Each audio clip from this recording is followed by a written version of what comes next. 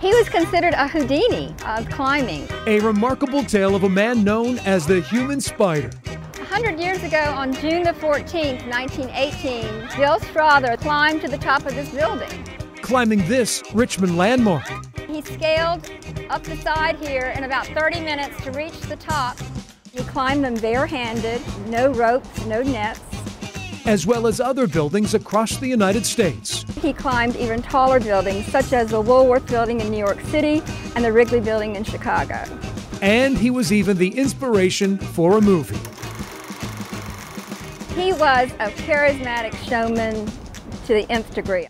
I have a story tonight at 11.